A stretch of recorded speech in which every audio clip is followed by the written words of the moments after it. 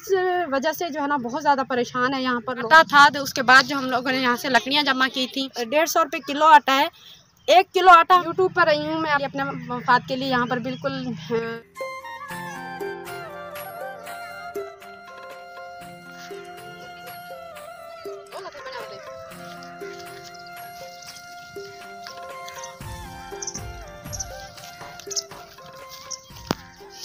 बिस्मिल्लाहिर्रहमानिर्रहीम। अस्सलाम वालेकुम कैसे आप लोग? ठीक ठाक हैं? उम्मीद करती हूँ कि आप सब ठीक होंगे। अल्हम्दुलिल्लाह, हम भी ठीक ठाक है। अल्लाह ताला आप सबको सेहत अदा करे, अल्लाह ताला हम सबको पाँच वक्त का नमाजी बनाए। अल्लाह ताला जिनकी औलाद नहीं, अल्लाह ताला उन्हें नए औलाद से नवाजे, जो बेरोजगार है, अल्लाह ताला उन्हें रोज़गार अता करे। ये थी हमारी छोटी सी दुआ। चलते हैं वीडियो की जाने वीडियो शुरू करने से पहले हमारी छोटी सी रिक्वेस्ट होती है, जिसने हमारे चैनल को सब्सक्राइब नहीं किया वो हमारे चैनल को सब्सक्राइब कर लें, लाइक करें शेयर करें और बेल के बटन को ज़रूर प्रेस करें ताकि हमारी हर आने वाली वीडियो बसानी आप तक पहुँच सके। और जितने भी बहन भाई हमें देख रहे हैं, हमें सपोर्ट कर रहे हैं, उनका दिल से शुक्रिया। और आप यहाँ पर देखें, आज यहाँ से ये राया जो है ना, कटना शुरू हो गया है। यहाँ पर जिनके जानवर हैं, वो उन्होंने ख़रीदा हुआ है और ये काट काट के यहाँ से लेकर जा रहे हैं। इस दफ़ा इन्होंने राया को नहीं पकाया। पिछले पिछले साल इन्होंने राया को पकाया था और राया कटा था तो उसके बाद जो हम लोगों ने यहाँ से लकड़ियाँ जमा की थी। तो इस दफ़ा जो है ना, ये गीला गीला भी कच्चा है राया तो उन्होंने कच्चे राय को बेच दिया है और यहाँ पर हमें जो है ना, लकड़ियाँ इस दफ़ा जमा करने को नहीं मिलेंगी क्योंकि यहाँ पर लकड़ियाँ बचने आप देखें यहाँ, बिल्कुल क्योंकि ये गीला जानवरों के लिए काट रहे हैं, अभी ये कच्चा है, इसकी वजह से ये नीचे नीचे से काट रहे हैं। और यहाँ देखिए ये थोड़ा थोड़ा बचा हुआ है और जिन जिन लोगों ने ख़रीदा हुआ है उनका थोड़ा थोड़ा हिस्सा जो है बचा हुआ है। देखिए माशाल्लाह माहौल जो है ना बहुत ही अच्छा लग रहा है बहुत यूट्यूब पर हम लोग वीडियो ज़्यादा अपलोड नहीं कर रहे हैं क्योंकि हमारी यहाँ यूट्यूब पर कोई सपोर्ट नहीं करता इसलिए हम लोग जो है ना वीडियो नहीं भेज इतनी हम लोग मेहनत करते हैं, इतना दूर जाते हैं, घर से काफ़ी दूर जाके वीडियो को बनाना और जाना, आपको पता है हमारे लिए मुश्किल है क्योंकि हमारे पास सवारी नहीं है। तो इस वजह से मुश्किल से हम लोग जो है ना वीडियो बनाते हैं, लेकिन आप सब हमें सपोर्ट नहीं करते। इसलिए हमारा दिल टूट जाता है, फिर हम लोग यूट्यूब पर ज़्यादा वीडियो नहीं डालते। और अगर ना डालें, फिर भी मजबूरी है क्योंकि चैनल बना हुआ है, फिर भी नुकसान हमें ही है। तो डालते हैं, लेकिन ये है कि दिल बहुत टूट जाता है क्योंकि यहाँ पर हमें कोई सपोर्ट करने वाला नहीं है। और मज़ीद आप देखें यहाँ से, माशाल्लाह कितना खूबसूरत माहौल लग रहा है। हर तरफ़ कहीं से कटी हुई है, राया कहीं पर खड़ा हुआ है, बहुत खूबसूरत राया लग रहा है। और इतनी मेहनत जो हम लोग कर रहे हैं, ये आप सबके लिए कर रहे हैं। वहाँ से यहाँ चल कर आना, इधर उधर जाना जो है ना, मेहनत करना, ये आप सबके लिए हम लोग करते हैं। प्लीज़ आप लोग भी हमारे सपोर्ट किया करें, जिस तरह हम आप लोगों के लिए मेहनत कर रहे हैं, आपको अच्छा दिखाने की कोशिश करते हैं। तो आप, अगर आप लोग हमारी सपोर्ट करेंगे, हमारी वीडियो को पूरा देखेंगे वीडियो को स्किप नहीं करेंगे, और वीडियो पूरी देखेंगे तो आप सबकी बहुत मेहरबानी होगी। और मज़ीद आगे देखिए, यहाँ पर जो है ना, बहुत ही खूबसूरत मोल लग रहा है। ये बच्चियाँ जो है ना, बकरियाँ चराने के लिए आई हुई हैं। और ये बकरियाँ चरा रही हैं बच्चियाँ। बकरियाँ भी बहुत शौक से खा रही हैं ये घास। जिस तरह हमारा टिकटॉक पर साथ दिया जा रहा है, इसी तरह हमारा यूट्यूब पर साथ दें। कुछ लोग हमारा साथ दे भी रहे हैं, क्योंकि मेरी बार बार आपसे ये गुजारिश करने का मकसद ये होता है कि अगर आप लोग हमारा यूट्यूब पर साथ देंगे तो हमारा चैनल जो है ना मोनेटाइज हो जाएगा, उससे हमें कुछ फ़ायदा होगा।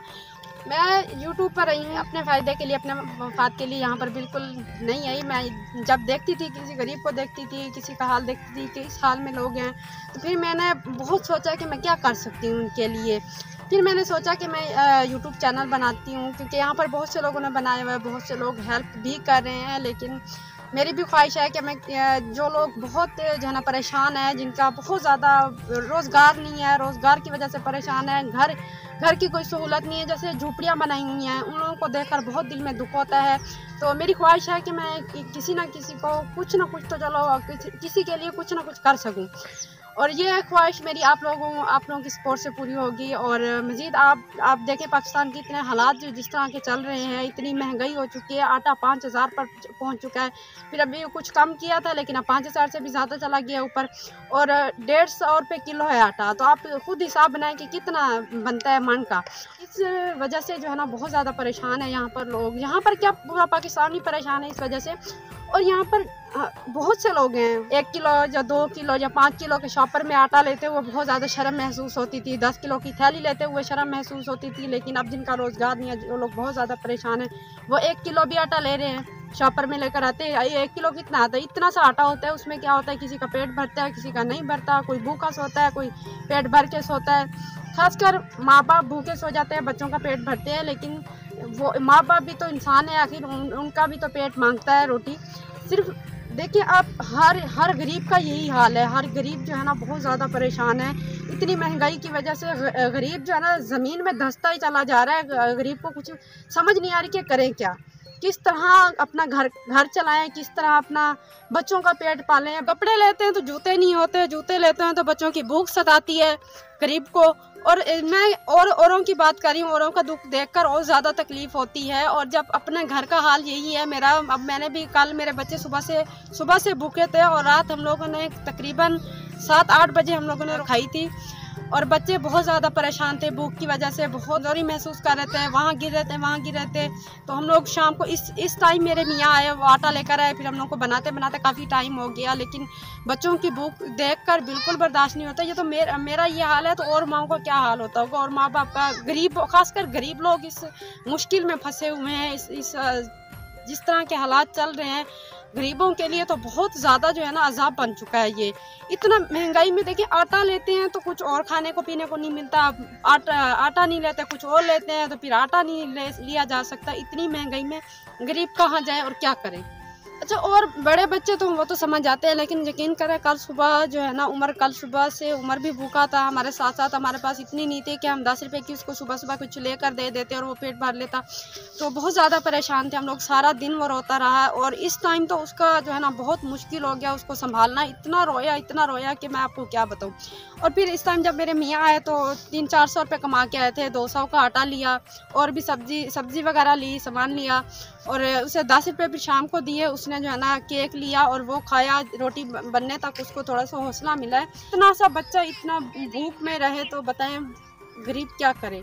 इतने बच्चे, इतने से छोटे से बच्चे के लिए गरीबों के पास इतनी पोजीशन नहीं है कि वो अपने बच्चों को, एक छोटे से बच्चे को एक दस रुपए की चीज़ ही खरीद कर दे सके। इतनी पोजीशन नहीं है। जब तक शोहर घर पर नहीं आता, बच्चे, बीवी चाहे भूख से मर जाए, कुछ हो जाए, ये गरीबों का ये हाल है। और आगे देखें कि आगे शोहर को मजदूरी मिलती है या नहीं मिलती। और बहुत ज़्यादा परेशान हो जाते हैं हम लोग। अमीर लोगों के पास तो पोजीशन है, वो तो ले सकते हैं। दस हज़ार रुपये आटा चला जाए, फिर भी वो ले सकते हैं। अगर फौरी तौर अमीर लोगों के पास पैसा नहीं होता, फिर दस बीस हज़ार की जाकर वो दुकान से उधार लेते हैं तो वो भी उन्हें मिल जाता है। लेकिन हम जैसे गरीब लोग, अगर एक सौ रुपये की उधार लेना, हमें हमें उधार नहीं मिलता। क्योंकि आगे दुकान वाला ये सोचता है कि इसके पास इतनी पोजिशन नहीं है कि एक रुपये की चीज़ ले सके, सौ रुपया ये कहाँ से देगा? तो इस वजह से गरीब जो है ना, बिल्कुल ही ना तो गरीब को उधार मिल सकती है क्योंकि गरीब के पास इतनी पोजीशन नहीं है कि गरीब उधार वापस दे सके। और देने वाला भी सच्चा होता है क्योंकि उसने भी दुकान में डालना होता है, उसी दुकान से निकाल कर उसी दुकान में डालना होता है।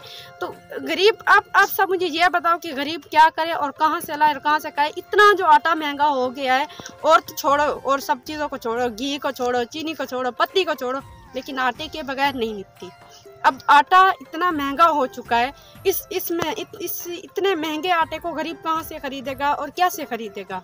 आज तो हमारे पास चलो ये है कि आज हम दो सौ का खरीद लेते हैं लेकिन एक ऐसा वक्त भी आ जाता है हमारे पास एक रुपया नहीं होता और आटा नहीं होता तो वो डेढ़ सौ रुपये किलो आटा है।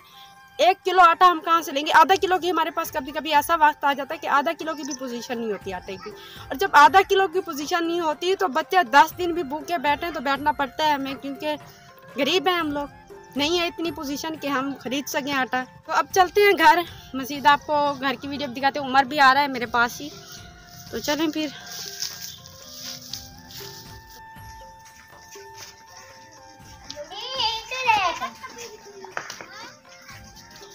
तो अब हम लोग घर पहुँच चुके हैं, घर आ चुके हैं और मेरा इतनी लंबी बात करने का मकसद ये था कि आप सबकी मुझे सपोर्ट मिलेगी और मैं, मेरा चैनल मोनोटाइज हो जाएगा। इससे मैं किसी की मदद कर सकूँगी। ज़्यादा नहीं तो कम अपने बच्चों का भी मुस्तबिल बना सकूँगी और दूसरों को, दूसरों की भी हेल्प कर सकूँगी। और आप सबसे मेरी गुजारिश है कि प्लीज़ इसी तरह हमारा साथ दें और प्लीज़ वीडियो को पूरा देखा करें वीडियो को दरमियान में स्किप मत किया करें। क्योंकि आप लोग अगर एक वीडियो को भी पूरा देख लेंगे तो मेरे मेरे बहुत बहुत ज़्यादा फ़ायदा हो जाएगा। और प्लीज़ वीडियो को पूरा देखा करें। मज़ीद हम आपसे इजाज़त लेते हैं। वीडियो काफ़ी लंबी हो जाएगी। और नेक्स्ट वीडियो में मिलेंगे। तब तक के लिए हमें दे इजाज़त। अल्लाह हाफिज़।